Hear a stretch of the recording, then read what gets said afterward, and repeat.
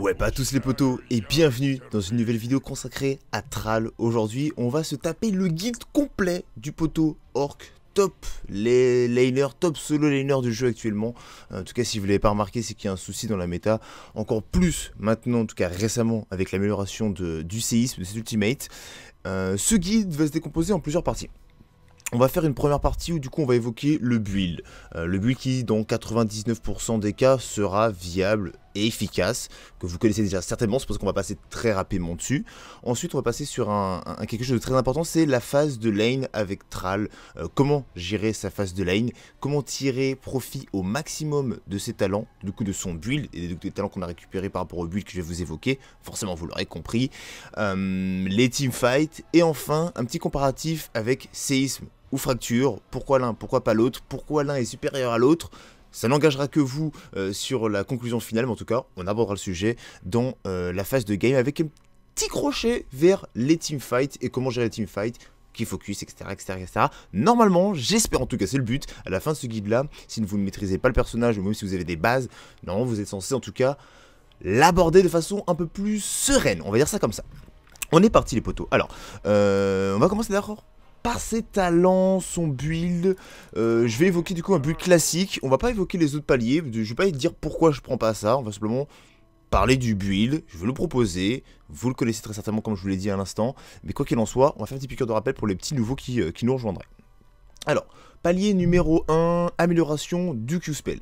Le Q-Spell, du coup, maintenant, va pouvoir nous permettre, du coup, de récupérer du mana. Donc, en phase de lane, ça va être extrêmement important plus de ça, on va pouvoir être plus safe parce que la range est améliorée. Ça, vous connaissez un petit peu la chanson. Palier numéro du niveau 4, euh, on pose pas trop de questions. Amélioration en nouveau du Q-Spell. Je touche plus de target. Du coup, je fais proc ma résilience, je rappelle, euh, plus souvent. Donc, plus de sustain. Encore une fois, on reste dans la synergie des personnages et ça reste toujours God. Du coup, Q-Spell au palier numéro 4. Follow Through. Follow Through au niveau 7 est pour moi l'un des talents, l'un des meilleurs talents de Thrall. Et jouer avec ce talent fait partie inhérente du personnage. Et vous ne pouvez pas passer tout simplement à côté de ce sort-là et de la façon de le jouer. À cause de ce sort-là, fait que il passe du bon Thrall à un très bon Thrall, voire un Thrall qui fait la différence tout simplement en teamfight et en game. Donc follow through, on en reviendra sur la phase de lane, euh, comment l'utiliser efficacement. Euh, le séisme, le séisme niveau 10, le comparatif séisme Thundering sera fait à la fin. Donc pour l'instant on reste sur séisme, on dira pourquoi plus tard. Au niveau 13, il peut y avoir une petite variable quand même. Je mets un petit guillemets sur le niveau 13 parce que moi je suis un, fervent défenseur et euh, admirateur du Giant Killer. Ça fait toujours des dégâts en plus, que ce soit euh, sur des tanks, des off-tanks, effectivement sur les cibles avec une grosse poule PV où ça va être plus efficace en termes de montant, mais quoi qu'il en soit, on fera toujours 1,5 de dégâts en plus en fonction des points de vie de la. Donc c'est toujours bon à prendre si on a besoin de dégâts en plus ou toujours se vouloir faire encore plus mal, tu vois, avec le personnage, c'est toujours bien. Mais par contre, si on a un petit peu trop euh, de POC, de burst euh, AP magique, on peut partir sur le spell shield, c'est pas un souci. Personnellement, je le prends quasiment jamais, mais c'est vrai que si on a, je sais pas, une Liming avec un sustain damage type Gul'dan derrière qui est en train de vous, vous, vous arroser, honnêtement, autant passer en privé, vaut mieux effectivement être en vie et faire des dégâts que se faire one shot. Des fois, faut faire un choix, mais normalement, je conseillerais quand même le Gen Killer. Dans la plupart des cas, dans la plupart des cas, attention, ceci est prendre avec des pincettes.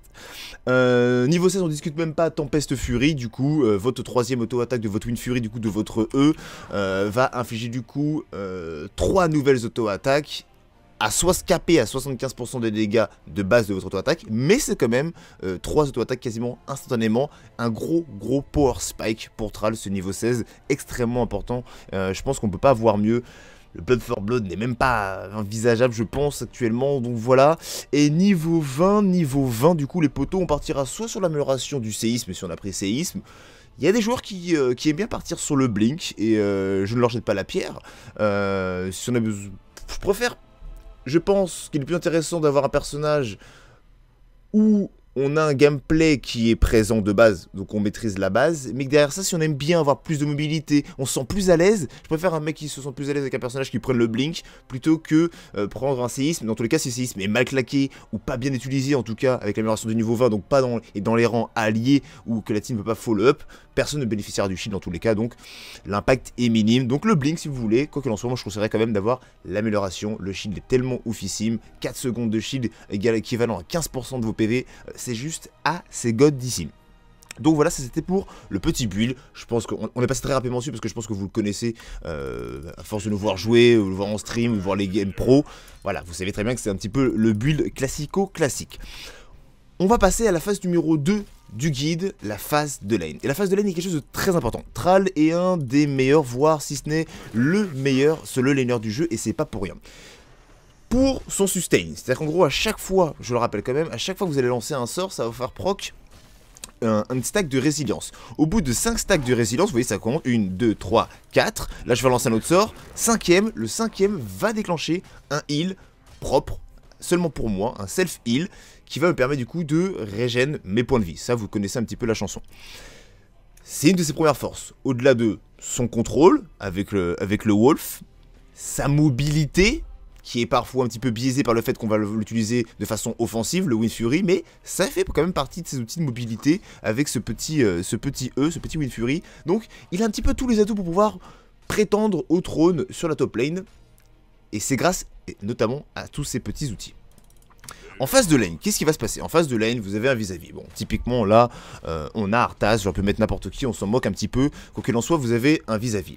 En face de lane, ce qui est très important sur le early game, on considère que par exemple, euh, on va partir sur le niveau 7. On va se baser sur une, référence de niveau 7. Comme ça, on fait pas trop de dégâts et on peut voir plus la pertinence et l'impact que ça de bien effectuer les actions. Parce que c'est vrai que sur le late game en général, vu qu'on fait beaucoup de dégâts, le burst vite et très fort. On a l'impression qu'on fait, on a fait un truc bien parce qu'on a one shot quelqu'un, mais ça se trouve on a pu optimiser ça quand même. Et des fois, on passe de one shot quelqu'un à tout simplement même pas la tuer ou qui part avec 2 euh, PV. Donc la différence entre vivant et mort est très cruciale et c'est grâce notamment à tous ces talents-là. Donc je le rappelle, chaîne éclair, chaîne éclair, follow through. On va s'arrêter là pour le moment.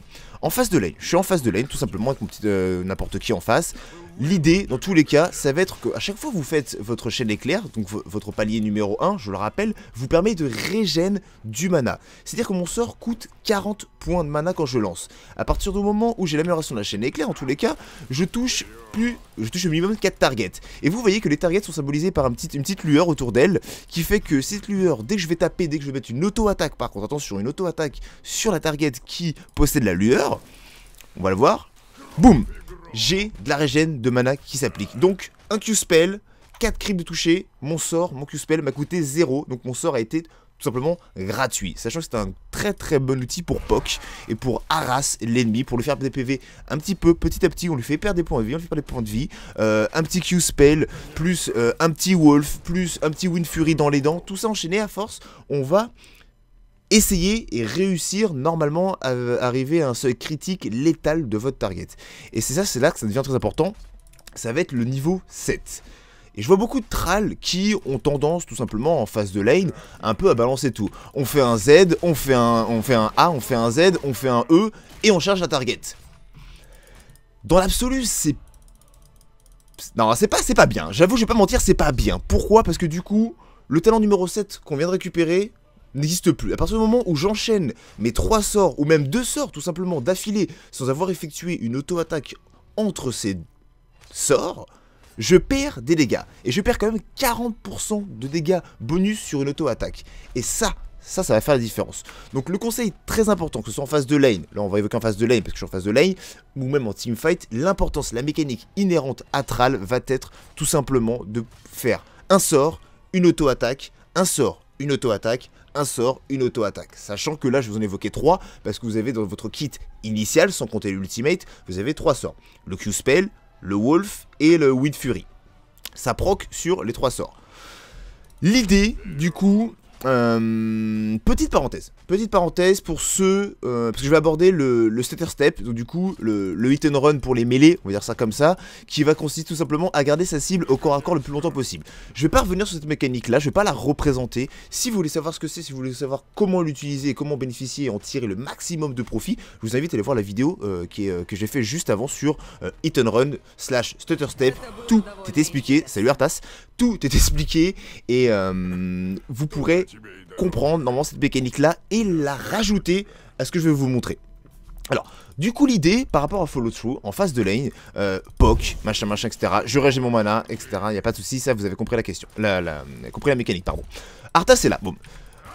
Normalement, vous voyez les trolls qui font ça, ça, on l'avait vu, ça, et j'enchaîne tout. C'est pas mal, mais là, vous voyez, typiquement, je le tue même pas Et pourtant j'ai lancé 3 sorts J'ai lancé l'ensemble de mes cooldowns pour essayer de le tuer Mais je ne le tuerai pas Parce que je n'ai pas maximiser mon DPS. Et pour maximiser mon DPS, du coup, ce qui va devoir se faire, c'est un, sort, une auto-attaque. Un sort, une auto-attaque. Et là, on voit déjà que les chiffres, ils tapent en rouge. Ils tapent plus fort. Et c'est plus fort, c'est-à-dire qu'en gros, ça, va s'appliquer sur trois auto-attaques. Et ça, ça va faire la différence. Et ça, c'est quelque chose sur lequel je veux vraiment insister. Ô combien il est important, et surtout avec Tral, et surtout avec cette mécanique-là, tout simplement, de de l'utiliser, parce que sinon on perd énormément, énormément d'épaisse. Je suis en face de lane, je poke, j'ai mon mana, etc., etc. À un moment donné, ma target va être en, en, fonction létale. Je mets des auto-attaques, un sort, une auto-attaque, un petit peu de, de stutter step, un sort, une auto-attaque, un sort, je l'ai loupé, une auto-attaque, tac, tac, tac, vous avez un peu compris la, chanson, mais c'est comme ça. C'est comme ça que ça joue tout simplement Tral.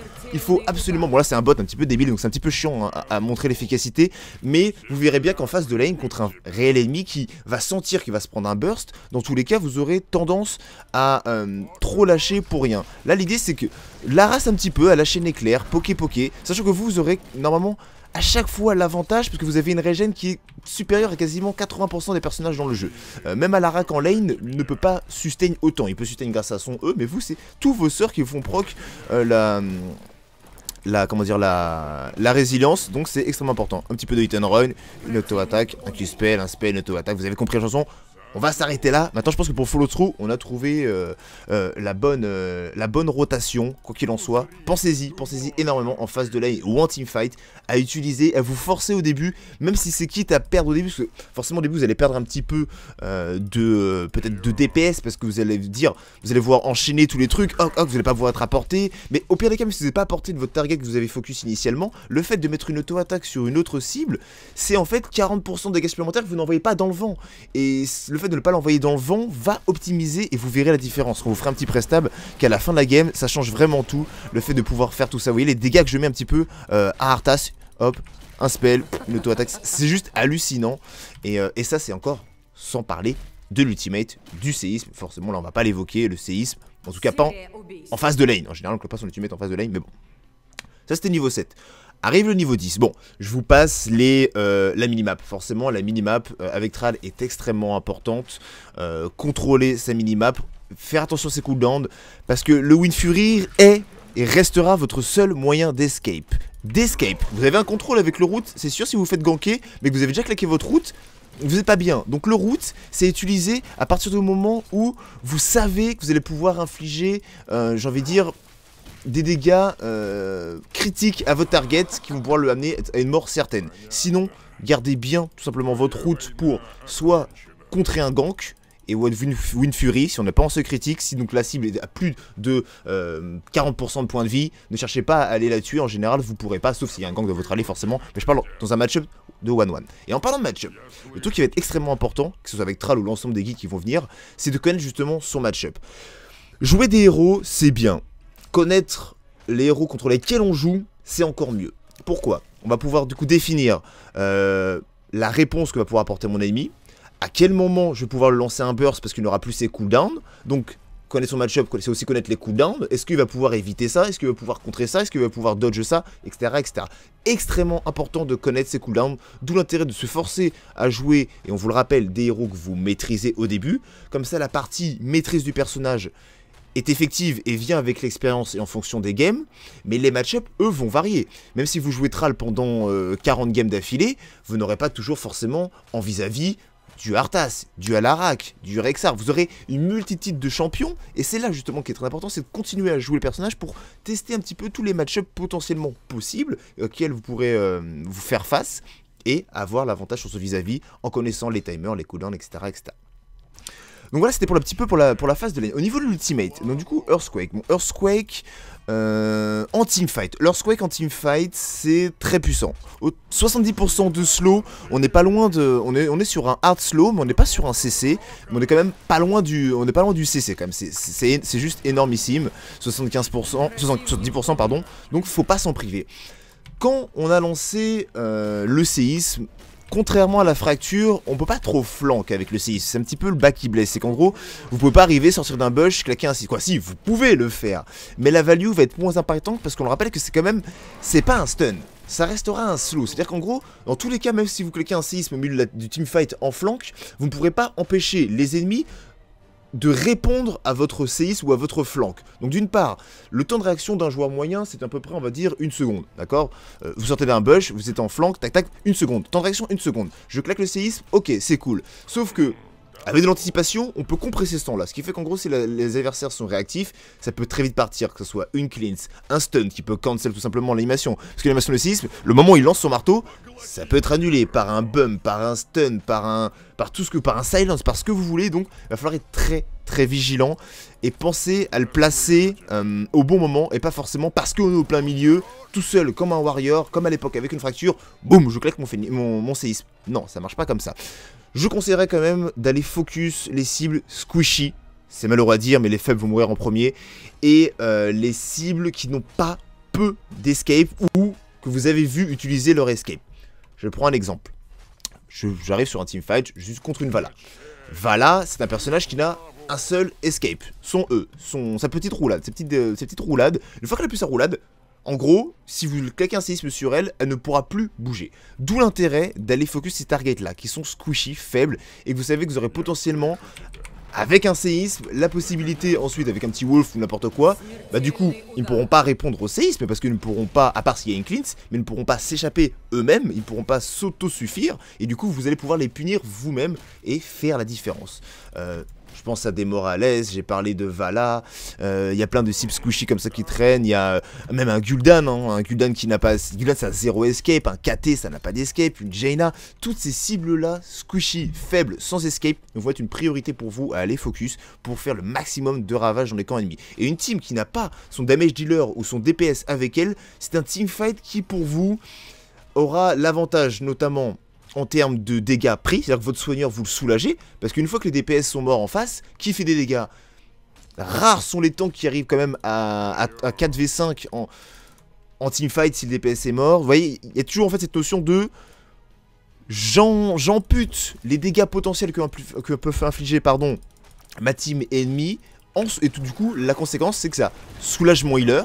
Moi, avec mes sustains je me soigne plus, parce que je prends moins de dégâts, dans, tous les cas, même si c'est du overheal, je me soigne quand même toujours plus, je peux remonter plus rapidement, parce qu'il y a moins de dégâts qui viennent réduire mes barres de points de vie, donc tout va dans le sens de, euh, il faut absolument essayer de deny tout ça.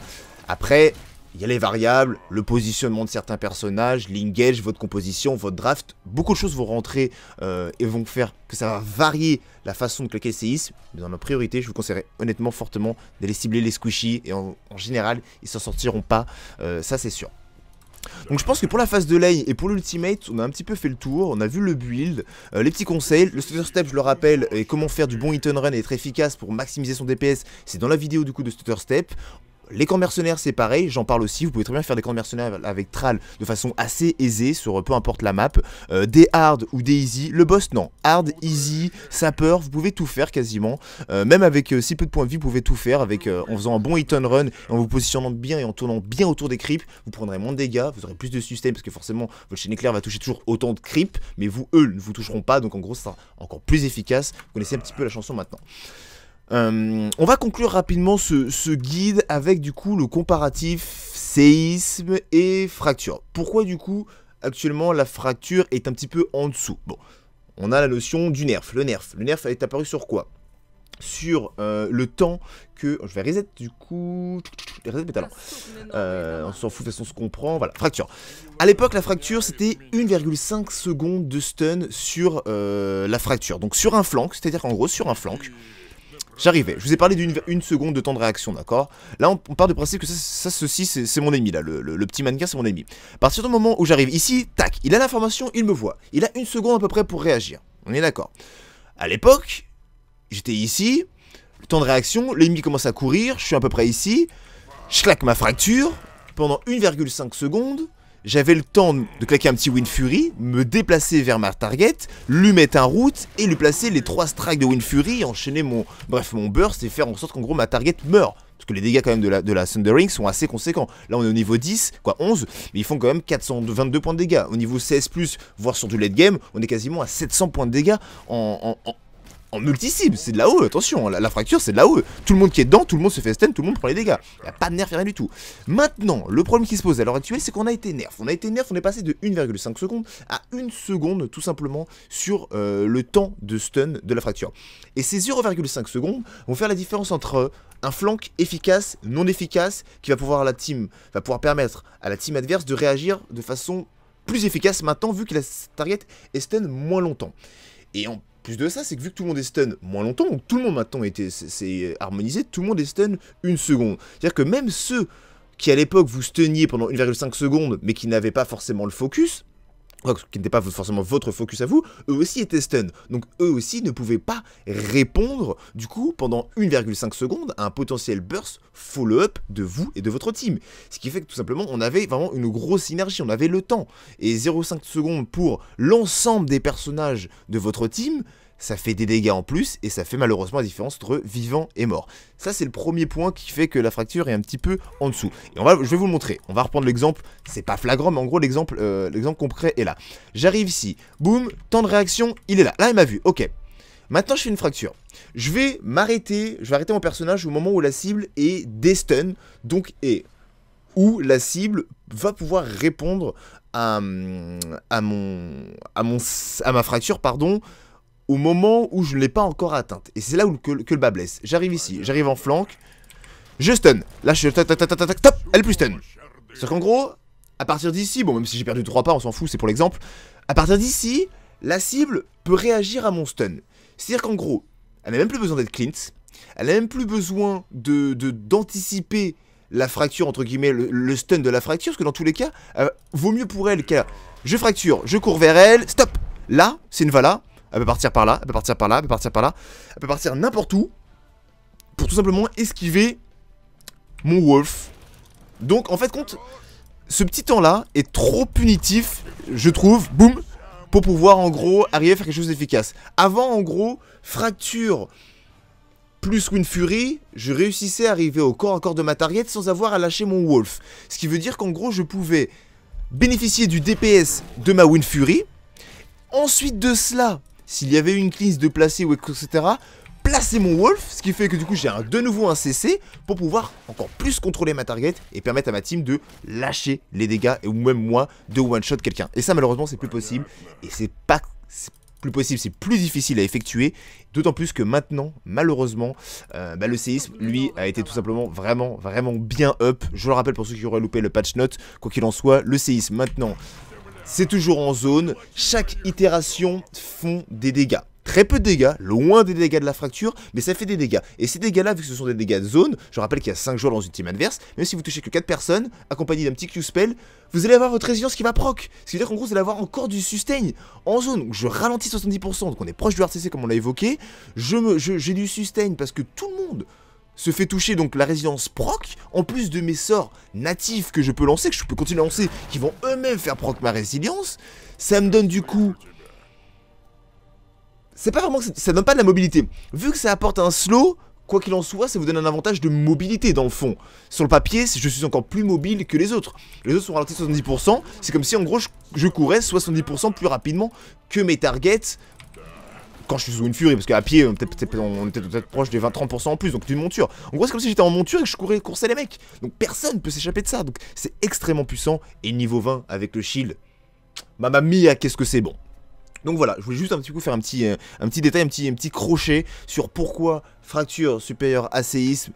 Après, euh, on va pas mentir, euh, sur une composition go-in, le séisme est très très fort. Kerrigan, Butcher qui commence à go in, vous mettez, vous mettez une, Thunder, ça va totalement deny l'engage, c'est très très game breaker. Mais attention, la fracture, ça peut être récupéré, c'est pas un mauvais ultimate, c'est juste qu'il est moins bon. Mais par contre, attention, il apportera toujours un CC on est sur un slow avec le séisme, mais pas sur un CC, pas sur un hard CC, pas sur un stun. Donc si vous avez besoin de stun, de pile, ou de, casser des incantations, des nazibos, des ETC, ou ce que vous voulez, si vous en avez besoin de ça, n'hésitez pas parfois à prendre la fracture si vous préférez jouer avec ça. Euh, après, avec le niveau 20, on peut partir sur un petit flash. Ça peut se faire encore, flash, fracture, machin, machin, etc. Il y a encore plein de choses qui peuvent se faire. Mais quoi qu'il en soit, dans un 80% des games euh, ATM, euh, le séisme sera malheureusement, je pense, encore un petit peu, un petit peu au-dessus, donc euh, on va pas s'en priver.